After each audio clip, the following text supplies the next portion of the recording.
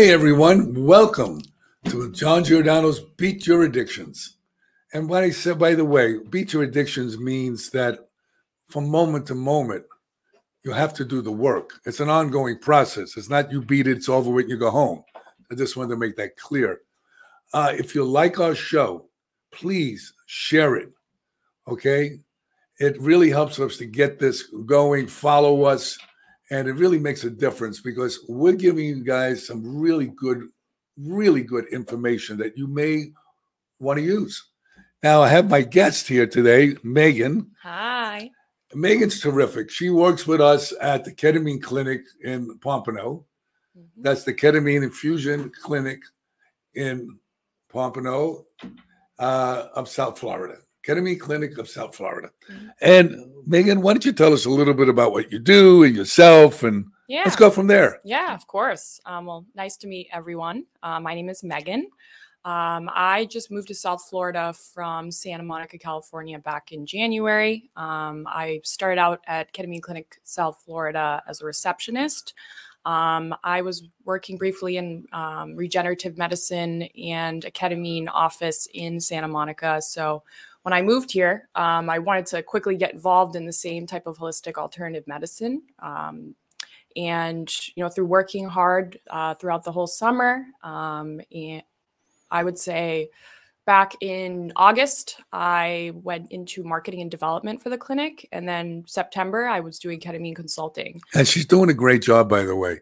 And we started her off as a receptionist to learn what we do, how we do it, and how it compared to California, what they're doing, and how they and what's going on there. Yeah. So tell us a little bit about why why you feel our our center is different than everyone else's. Yeah. Um, well, first things first. Uh, Callie and Sonia are our two certified nurse anesthesiologists. Uh, they are experts um, on ketamine itself, uh, which is super important. These ketamine clinics are popping up everywhere, so it's super important to have a practitioner who is an expert on ketamine because um, it is an emergency medicine to start out.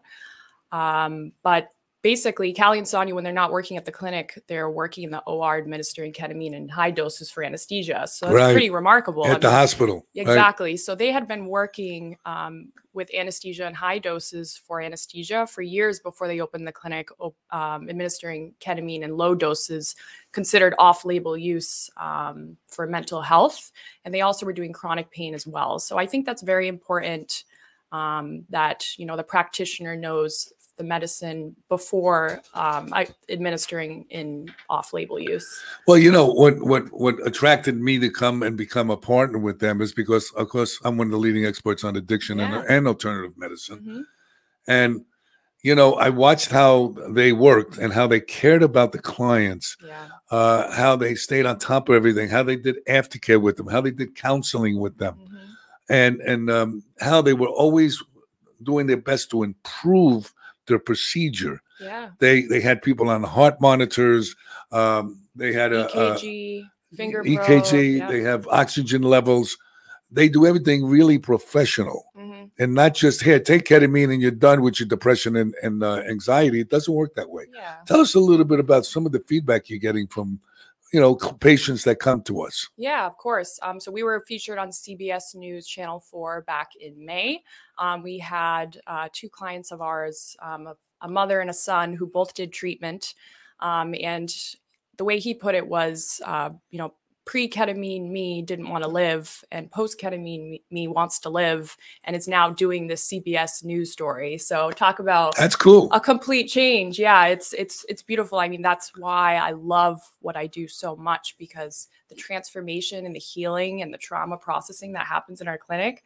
I mean, I I can't think of another way where clients can safely and and with so much support process all the stuff that is just weighing them down in their lives. Um, it's it's beautiful.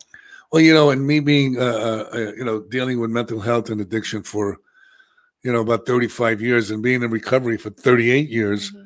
Uh, when people come in, some of them are uh, uh are recovering addicts, and mm-hmm. they they still have depression, they still have anxiety, and also what's good that that what the girls wanted to bring to the clinic is also somebody who does PTSD work. Mm-hmm. Is that's what I do also. Mm-hmm. I work with police officers that've been in shootings and people coming back from Iraq and Afghanistan, uh, rape victims and things of that nature.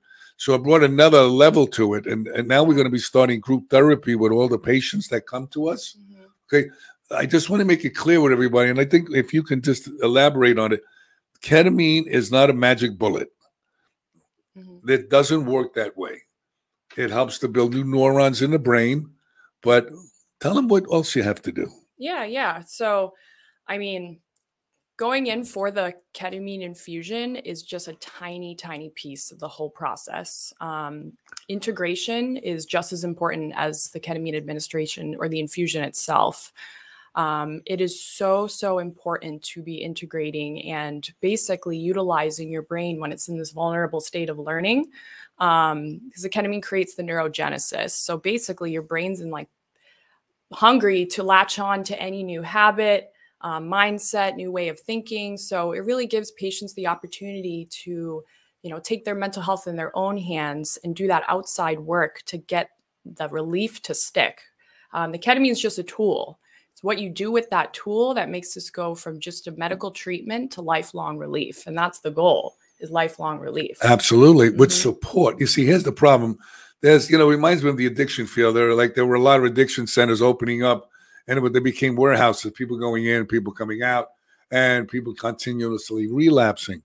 Um, I think I see this is going on with the ketamine industry and also people that are opening up these ketamine clinics. Not all of them. I don't want to give that impression, but a lot of them, or some of them, or whatever you want to call it, they're not doing integration. They're not doing mm-hmm. counseling. Uh, they're not really doing uh, much of a follow up care.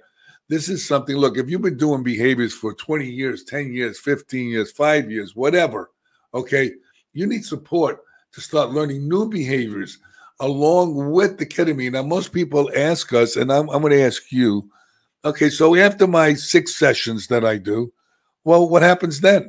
Yeah. So uh, once patients complete the six series of infusions, uh, they can come back for maintenance boosters as needed. Uh, we usually establish that maintenance booster wellness plan on their fifth or sixth infusions. I do find that patients that do come back regularly for the boosters, um, either it's you know diagnosis based, how deep the trauma is, or um, uh, if they haven't been heavily integrating. Um, I like to compare it to um, you know, finding relief from mental illness is like going to the gym and working out your muscle, right? You have to keep working the muscle for the muscle to grow. So basically, all the habits and the way your brain is from the day you were born until now, we have to unwind that and reverse all those habits that were created and replace all the bad habits. Yeah, replace those with um, good habits. And so, you know, that that relief of mental illness with integration is like working that muscle, so that way it grows and grows, and all that old baggage is gone, right? It's doormat. That's the goal is for all those thought thoughts and all that mental illness uh, struggles for it to be doormat. So, you know, we have uh, also we have coaches that know about psychedelics that have been doing this for years to help coach you through your journey as yes. you go through it. This is so important, this integration. If you start looking at psychedelics and the history of it, it's been around for thousands of years and it always has a ceremony around it. So and a, and a, and a, and a place that's very inviting and very warm.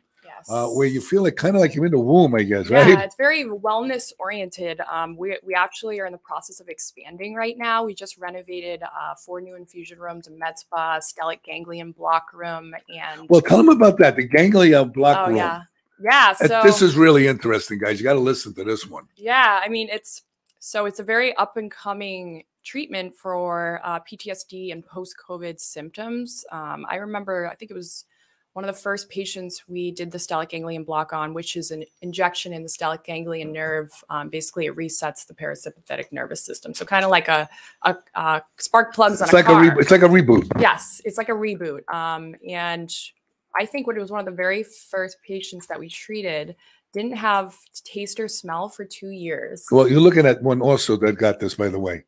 Oh yeah. Yeah. Yeah, you did oh yeah, it. that's right. I did. Oh, yeah. I got it. Well, this patient, she had not tasted or smelled anything for two years uh, following having COVID in 2020. And within 15 minutes, uh, she, we gave her coffee and she was in tears crying because she got her um, taste back. And so basically, the way the stellate ganglion block works is for post COVID, Um, it'll be one injection, um, and then we wait about an hour and a half. Generally, patients do find relief uh, instantly. It's within 15 minutes. Um, they'll go try some food, and then basically, depending upon if they still have their taste back within that hour and a half, they'll come back for the second injection. Um, most patients get the second one just to get, you know, just to complete the series of two, uh, and they have relief. Imagine well, that. I, I'm I'm looking for my second one. I, yeah. you know, it, it, was really interesting when I had COVID, and I got rid of it in about two and a half days. I used all the alternative treatments that I learned. Nice. And what happened was is that I could smell, but I couldn't taste. It tastes food tasted like cardboard. I mean, it was it's like was the yeah, weirdest stuff. That's debilitating. yeah, and I'm eating stuff that I really like, and I'm going, what? something's wrong with this yeah, food. Yeah. You know, it didn't have any taste to it. Yeah. You know what I'm saying? So I kept on adding spices and it was like it was like a joke already. I mean, I got smoke coming out of my ears, but I'm not tasting pepper. the spice. so, oh my gosh, yeah. So I never, I never even heard of this technology the way they do it. We we do evidence based. You know, I, for myself, I know who's going to talk to this kid from the South Bronx, and you know, and it's just a therapist and all this stuff. So uh, what I did was I got you know with a bunch of scientists, fortunately, and I'm currently, we just have another paper, by the way, a peer reviewed journal that our clinic is in with Dr. Blum. He's the geneticist who found the addiction gene. I just got an email from him that we're on another paper, which is really, really cool. We're going to be doing outcome studies. We take this seriously. It's not just about money, this is about helping God's kids. And everybody at the clinic, uh, I fell in love with the place. It's yeah. such a nice, soothing environment. Uh, Sonia, what she did, and Callie, and you know mostly Sonia, the decorator. You know, Sonia did a lot of the the decorations, the paintings, and the and yeah. the and the colors and the ambiance and the music. Yeah, just creating this like safe healing container where you know patients can just come in and feel so safe and welcomed and you know we're a great support team um, for our patients. Well, what I was impressed with mostly was the follow up care because I brought my wife there and we had her on one of these shows mm-hmm. and talking about her depression and her anxiety. And also, we have uh, a team of therapists and a psychiatrist that also works with us. So, you know, it's part of the process is we we tell the patient, uh, why don't you tell the process with um, with their therapist or their psychiatrist how it works when they want to come into the clinic. Yeah, yeah, of course. So um, we you don't just treat anybody. That's what I'm trying to explain to yeah, you. Yeah, yeah. So um, I do consultations for the clinics. So basically, uh, the initial consultation is kind of a screening process uh, for medical history. Um, you know, any uh, medical history of high blood pressure, seizure, stroke. We we like to um, filter and screen all of this first. And then um, basically, we have patients get a referral from either psychiatrist. But that doesn't mean it's a rule out because they have high blood pressure yeah, like yeah. that. Yep. Well, so if anything, we'll get medical clearance right. um, or make sure it's controlled with medication. Um, we have, you know, we have blood pressure medication in the office. So if you know, when every patient that comes in for treatment, we get starting vital, vitals, and if the blood pressure is too high, we will give. Well, you have to remember, guys Sonia and Callie, my partners, they're critical care nurses. Yeah. I mean, I mean, this is like the top of the food chain. They, are just basically like doctors. They're the yeah. ones that, you know, are in the operating room giving you uh, the anesthesia. Yeah, and, and watching your vitals and watching everything, and uh, they're incredible. I got to tell you. Yeah, and the and the clinic is actually like a very calm, much calmer environment than what they're used to. They're used to that, you know, adrenaline rush, very fast paced code, like all that hospital stuff. So you know, the clinic for them is just um, more of like a, a, relaxing atmosphere to be able to really focus on treating. What are some of the rule outs that people that can't do? And if you have some of these rule outs, please, you know, really make sure that you speak to your psychiatrist or psychologist, whoever it is, and get to understand what are some of the rule outs like what schizophrenia what you know what else schizophrenia uh, manic bipolar dissociative uh, disorder personality disorder um, uh, cystitis, any major bladder issues, um, kidney. But you know, all we we try our best to you know treat patients. You know, I don't even think clearance. we try. I think we do it. Yeah, yeah, for sure. Um, but Yeah, it's pretty much. if you're going to look for a ketamine clinic, and you know, and, and here's the thing, this is not just a, a commercial for our ketamine clinic, but I just want to let you guys know, make sure they, they're looking at you medically, psychologically, make sure that you have follow-up care. Uh, we don't, uh, even the ketamine that we do, it's not one shoe fits all. Everyone's different. Everybody has a different body weight, a different circumstances that are involved. And what what Sonia and what Callie do is they make sure that each person has an individualized treatment, not just one uh, uh, uh, ketamine infusion fits all. We don't do that.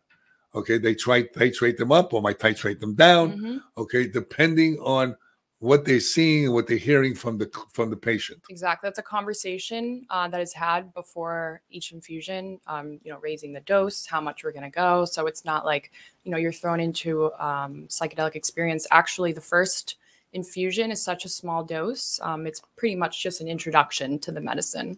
Yeah, I want to see how you tolerate and you know Yeah. how you respond. Now, also what we do is we do uh, IV nutrients, but we also have available, okay, uh, Well, we're actually tackling wellness from a multi-perspective approach. Um, aesthetic services. We just opened a branch, um, at KCSF Med Spa, um, where we're going to be doing, you know, fillers and Botox and PRP. Um, lots of cool stuff happening there. We're going to be doing micronutrient testing, and from those, that micronutrient testing, we're going to be personalizing IV nutrient bags and treatments for patients. Um, and then, you know, patients can certainly uh, take advantage of our trauma processing sessions with John, as well as additional coaching sessions, uh, group therapy, individual therapy. Um, you know, the stellate ganglion block uh, can help with PTSD as well. So we'll have patients who actually do a ketamine infusion, followed by the stellate ganglion block, and then end their day with an. well, you know what's also interesting? We also do NAD, Yeah, which is really cool. I'm doing it. My wife's doing it. And I'm doing my, it too. You're doing it too. And I'm my gonna, yeah. my energy is changing. Uh, and look up NAD, guys. I don't want you to believe a word that we tell you. I want you to look up anything that we say here that you're not sure of. Uh, NAD actually is cellular reconstruction, and it works with what is known as your mitochondria. Your mitochondria is the energy of your uh, engine of your body, and um, it does cellular repair, and it's unbelievable. And we also going to include it in our aesthetics because it helps with collagen and helps getting that going. Yeah. And at- there's some real cool stuff coming down the pike. Yeah, the at-home uh, kits we just got, you actually can reconstitute them, so they come in a powder. So um, super, super cool. Rather than having a bunch of you know uh, NAD ship that needs to be chilled, right, and has an expiration date. You know, the expiration date starts. Well, it has to be chilled after you constitute. yeah, it, yeah, Once you after, but you know when it's it's still in powder form, it has a longer shelf Well, life. before we see, because I do all the science stuff, and, Yeah. and that's what I brought to the clinic. Is we uh, uh, we got into we got introduced to the manufacturer of NM, Uh, NMD, and what was really really cool was that the the the kind that this guy manufactures is that we have a shelf life of two years, so we don't have to pre-order it for somebody yeah, to make sure they use it within seven days. it's And when you do. NAD with us, there's also another piece that we also can give you a take home, okay, to do it every other day or, or daily, depending on your need. Okay. Uh, we're doing some really, really groundbreaking things. yeah, So I want this company, and so do my partners, and so does Megan, to be um, standing out from all the rest. Yes, we we we looking at we look at the gut. You know most people are not looking at well where does depression and anxiety come from? Oh my thoughts. Uh yes that's part of it but you can have low thyroid you can have depression and anxiety you can have leaky gut syndrome h pylori infection hypoglycemia hypoglycemia closed head injuries uh, high testosterone low testosterone all of Mhm. these things can cause depression and anxiety we look at the whole person. We're not just a ketamine clinic that gives you ketamine and says, have a nice day. yeah. Thank you for your donation. Mhm. Couldn't agree more. And I'm so glad that you joined the team, John, because you know I'm finding that a lot of the patients that are coming in, you know, the trauma is getting deeper, deeper and deeper and deeper and deeper. And you know, I feel like you came on at a great time because we've been doing a lot of these trauma sessions with the clients that have been coming in, and it's it's just so so amazing what we're doing. We're really providing such a great, safe atmosphere for clients to be able to do all that inner work that is really hard to accomplish. You know, and, and some people say, well, how come you added aesthetics to this, like Botox and Restylane and doing the lips and doing the eyes and doing that? Well, we don't only want you to feel good; we want you to look good. Yeah, and if you so look good, it's a whole it's a whole enchilada, right? Exactly. I was just reading this article and um, see if I can reword this correctly. They were saying how um, women are more likely to go out and you know social situations if they feel good about themselves. And so we made it so easy for patients. You know, while you do have a ketamine infusion and you come in, you know, you can just go across the hall and get any services done that you would like. You know, just to complete the you know wellness it, it's this way when you see people in depression they don't they don't take care of their their nails they don't oh, let's say It's women hard to leave the house too. they don't even want to leave the house they don't take care of their hair they don't want to go to their appointment they don't want to they don't do things they enjoy anymore and we also have the availability of uh, fat loss program uh, weight loss program fat loss whatever you want Yeah. to call it uh, exercise programs you know we can set you up for anything you want i always ask patients or clients how well do you want to be where are you in your life? What kind of quality of life do you want to have? We're also doing peptides, okay, which helps with weight loss. We do a lot of things. Look, remember something. If you don't like the way you look, a lot of times you may not feel good about yourself, and that causes depression and anxiety also. Domino effect. That's right. Mhm. So we look at the whole person. Yeah. We're not just looking at a part of you. We're looking at all of you. And you know, we also include the families. If you know, we we have all kinds of things that we do there that most places don't do. and we do welcome you know fam- family members. Uh, we i find that family members usually find the transformation or see the transformation before the patient does. Right. so we definitely welcome you know family and any support team. I mean it's all uh, patient centered care You you see, you know, coming from the addiction arena, mental health arena, we know how important family is, and we know how important it is for group therapy and individual therapy uh, to do this to help put somebody on course. Now, listen, we don't get you well; you get you well. Mhm. All right, you have to do the work. it's the best part That's the bottom line. Ours is to guide you as best we can. So, like I say, how well do you want to be? Yeah. You know, and, and the bottom line is is that uh, nobody in our clinic smokes cigarettes. We we don't. Nobody does drugs. We're drug free facility. Uh, none of this goes on because listen, we need to set an example for our patients. If I'm out there smoking, I remember in my treatment center, I had a therapist. She's out there smoking cigarettes, and I look at her and I go, um, "What are you doing?"